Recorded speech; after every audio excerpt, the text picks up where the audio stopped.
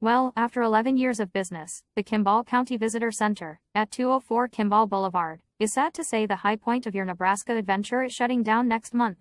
They are closing on Tuesday, October 15th.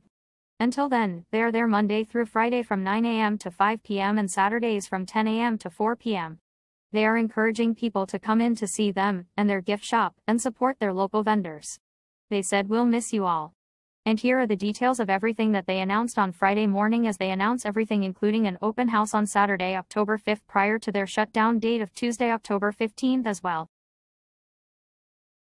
Well, October 5th, we are going to be having a open house to say goodbye to everyone.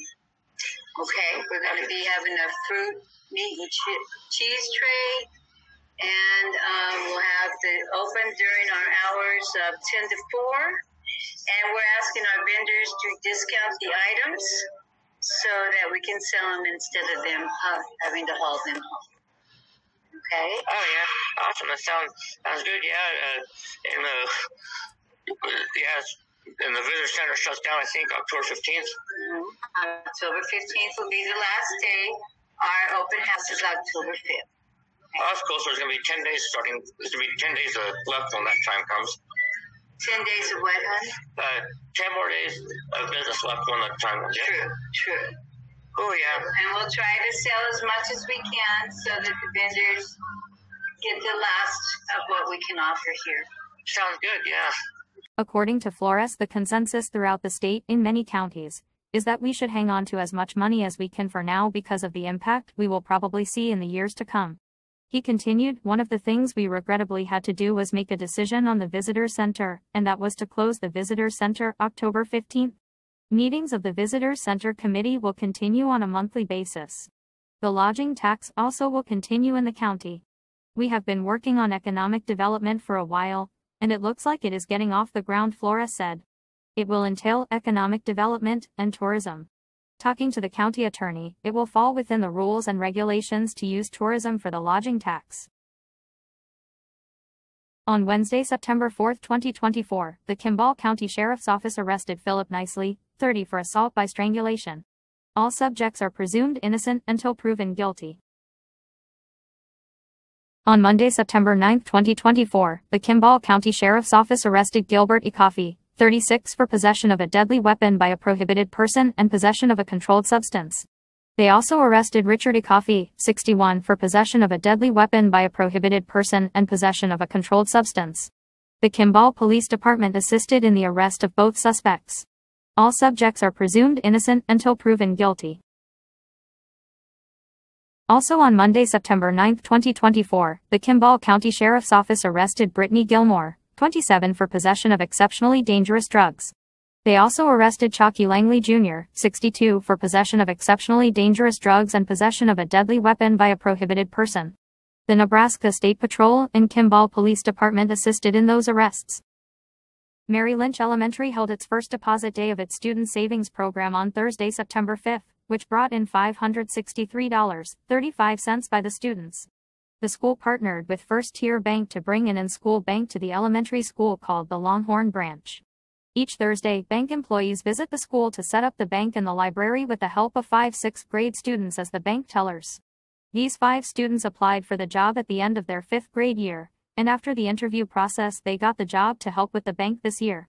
58 students have signed up so far to participate in the program, and 49 of those participated on opening day.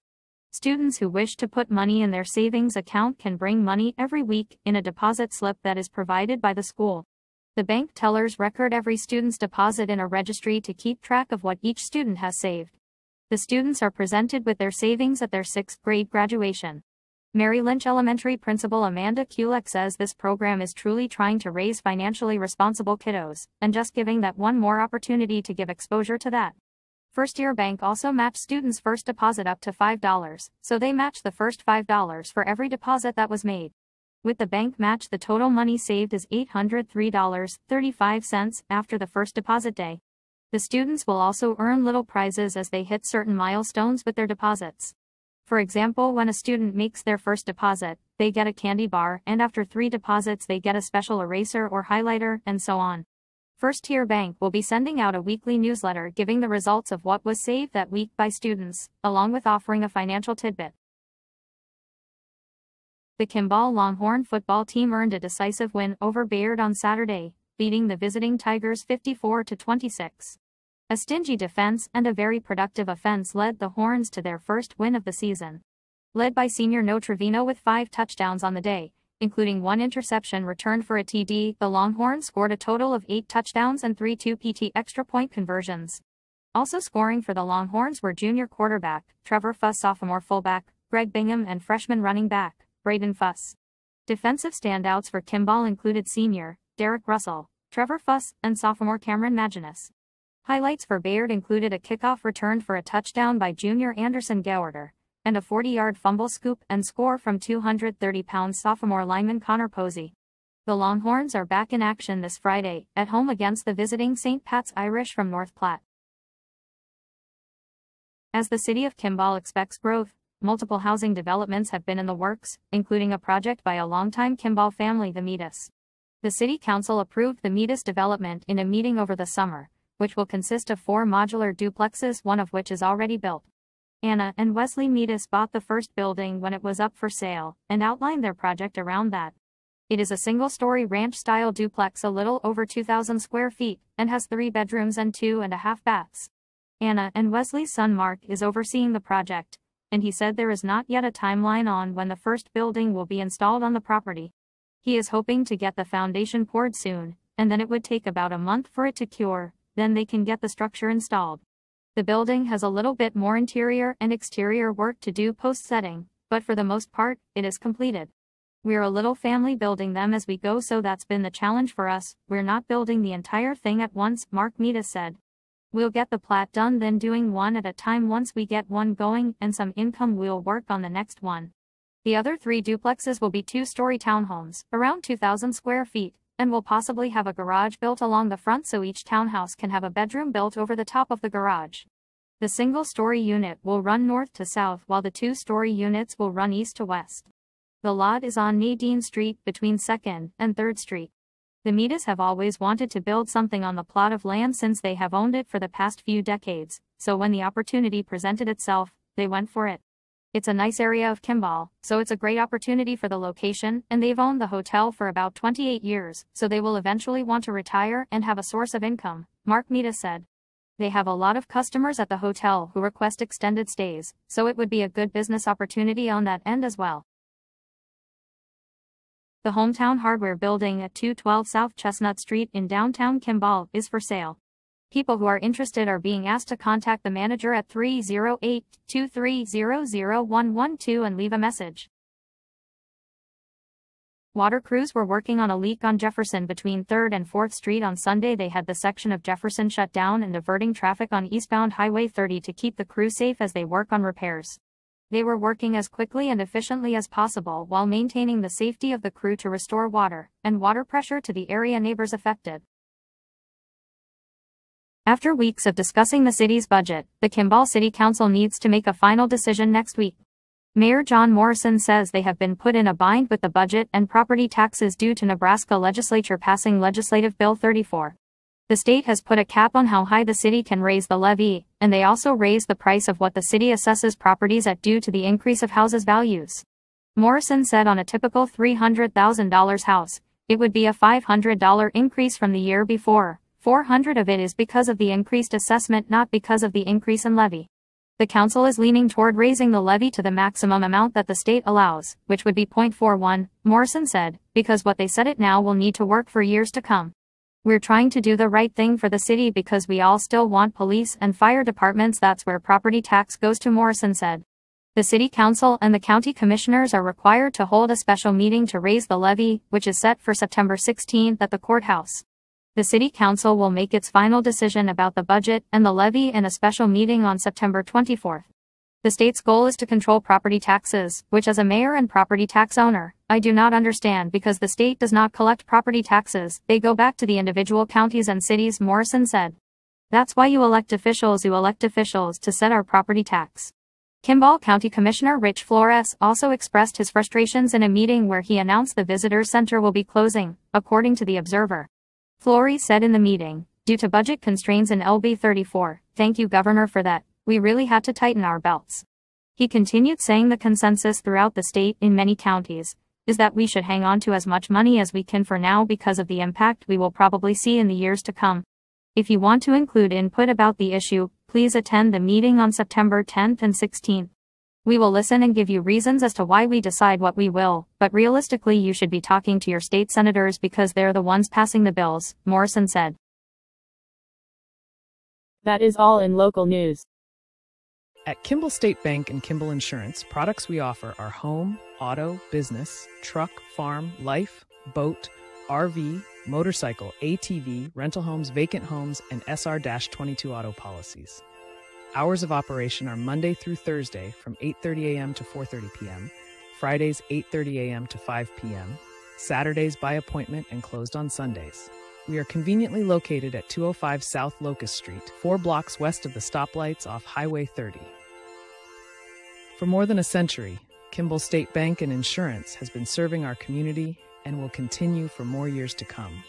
Call us at 308 235 4629 for more information or stop by 205 South Locust Street. KIMBA Network Blogspot is your hometown sports leader for Kimball and Kimball County, Nebraska. At KIMBA Network Blogspot, we cover the Kimball Longhorns and we have full coverage all year round. Football and volleyball in the fall along with basketball and wrestling in the late fall and early winter. Many teams play the Longhorns throughout the year. The Pine Bluffs Hornets, Bayard Tigers, Bridgeport Bulldogs, Hershey Panthers, Mitchell Tigers, Leyton Warriors, Banner County Wildcats, the Potter Dix Coyotes, the Chase County Longhorns, Perkins County, the Sidney Red Raiders and more. Tune into KIMB Network Blogspot all season long and watch and listen to all games all season long, all year long. KIMB Network Blogspot is home of the Kimball Longhorns. Time to drive all over Tarnation trying to find everything for home, work, the hunting season ahead, or the party this weekend? That's why Kimball Ace Hardware works hard to be a one stop shop. From hardware to housewares, grills to guns, and tools to tequila. If Ace don't have it, you don't need it. With the area's most knowledgeable staff, the helpful hardware folks are fixing you up with a lot more than nuts and bolts. Open 8 to 6 Monday through Saturday, 9 to 5 on Sundays, or you can shop anytime at acehardware.com. Park Terrace Apartments in Kimball has openings for those who qualify. Park Terrace provides residents in our community with a comfortable and affordable home. Their one bedroom units are well maintained and remodeled in a quiet and easily accessible location with an established community of residents. Qualifications include 62 years of age and older and or disabled and low income. Park Terrace is an equal housing opportunity facility. For more information, a tour, or to apply, call 308 235 2226. Try our online shopping website at shopmsm.com or you can download our app, Main Street Market PCA, and you can start shopping online today. At Crossman Construction, we provide free estimates on garage doors and openers, window siding, seamless gutter, doors, custom cabinets and remodel. For any project, call us at 308-235-4999 or 308-235-5954 and we will help you. You can also stop by our location at 205 South Oak Street. The Rook RV Park is located at 28 Rook Drive, Kimball, Nebraska 69145. You can call them at 308-241-1210, visit their website at www.rookrv.com, or email rookrv at outlook.com. They have oversized spaces, heated water, hookups, 20, 30 and 50 amp, electric service included. Extra parking area tents are welcome. No services. Daily weekly monthly rates are $40, $200 and $460. On I-80, you go east to exit 22, you then go north on Highway 71 to 53 E-Link and west at 5th Street. It is open year-round. It is conveniently located off the interstate and close to city amenities. Call us at 308-241-1210. That is 308 241 1210. Call now. Clean Harbors is currently looking for multiple candidates for open positions at their Kimball facility. Apply today to work for an award winning team and stay for a rewarding career. Qualified candidates must have high school diploma, the ability to work in a team environment, possess good communication and organizational skills, as well as an excellent commitment to health and safety. Benefits include competitive pay, health coverage after 30 days, 401k match, as well as growth opportunities, generous paid time off, and tuition reimbursement. For more information and a complete list of open positions, visit careers.cleanharbors.com. Clean Harbors, sustainability in action. A Broncos potluck at Beer and Loathing is taking place on four Sundays in a row. Bring a dish to participate and have food there by halftime. You can enter to win bar favorite dish. September 8th versus Seattle Seahawks with your favorite dish. September 15th versus Steelers with meat and potatoes. September 22nd versus Tampa Bay with seafood. And September 29th versus Jets with pizza. Again, this is at the Beer and Loathing Bar and Grill located at 206 South Chestnut Street in downtown Kimball. Visit backcountry69145.com. This is sponsored by Ashley's Custom Embroidery. For more information, call Ashley's Custom Embroidery and more at 308-235-5144 or the Beer and Loathing Bar at 308-230-2223. The Kimball Farmers Day 3rd Annual Food Fair and Vendor Event will be held on Friday, September 27th and Saturday, September 28th from 5 p.m. to 9 p.m. at 2nd Street and Chestnut Street. For more information or to reserve your spot, call or text 308 672 9724. Presenting an $8,000 purse. It's a tournament of destruction. Where cars come to die. Sponsored by Kimball County Ag Society. It's the Cleanup Derby. Cleanup Derby in Kimball, Nebraska at the Kimball Fairgrounds on Saturday evening, September 28, 2024. Compact chain up, full well check-in is at 12 to 3 p.m. There is a $50 entry, $25 pit pass. A driver's meeting will be held at 4 p.m. Start time is 5 p.m. Contact Clark Hoddle for demo at 308-235-5672. New this year is a pickup tug. Compact 1 half ton, 3 fourths ton, 1 ton. Contact Spencer Teasley at 970-534-5700. Cost for admission is $10 for adults and $5 for children under 10 years old. No Imperials before 1974, and no greater blades will be strongly enforced. From the KIMB Weather Center, this is your weather outlook for the next week. Tonight, mostly clear with a low around 55. East wind 5 to 10 miles per hour becoming west-southwest after midnight. Wednesday, a slight chance of showers between 9 a.m. and noon, then a chance of showers and thunderstorms after noon. Mostly sunny, with a high near 88. Breezy, with a west-southwest wind 10 to 15 miles per hour becoming south 15 to 20 miles per hour in the afternoon. Winds could gust as high as 30 miles per hour. Chance of precipitation is 30%. Wednesday night, a 30% chance of showers and thunderstorms before midnight. Mostly cloudy, then gradually becoming mostly clear with a low around 55. Breezy, with a south-southeast wind 10 to 20 miles per hour, with gusts as high as 30 miles per hour. Thursday sunny and hot, with a high near 90. Breezy, with a south wind 10 to 15 miles per hour increasing to 15 to 20 miles per hour in the afternoon. Winds could gust as high as 35 miles per hour. Thursday night, partly cloudy, with a low around 53. Breezy, with a south wind 15 to 20 miles per hour becoming northwest after midnight. Winds could gust as high as 30 miles per hour. Friday sunny, with a high near 83. Friday night, mostly clear with a low around 51. Saturday sunny, with a high near 85. Saturday night, mostly clear with a low around 54. Next Sunday sunny with a high near 86. Next Sunday night, partly cloudy, with a low around 54. Next Monday sunny, with a high near 86. Next Monday night, partly cloudy, with a low around 54. And next Tuesday, a slight chance of showers. Mostly sunny, with a high near 85. That is your weather outlook for the next week. A few isolated showers and thunderstorms are possible this afternoon and evening, mainly in Carbon and Albany counties. Precipitation chances increase for Wednesday and Thursday before ridging returns to the region for the weekend. Elevated to critical fire weather conditions will become possible once again on Thursday.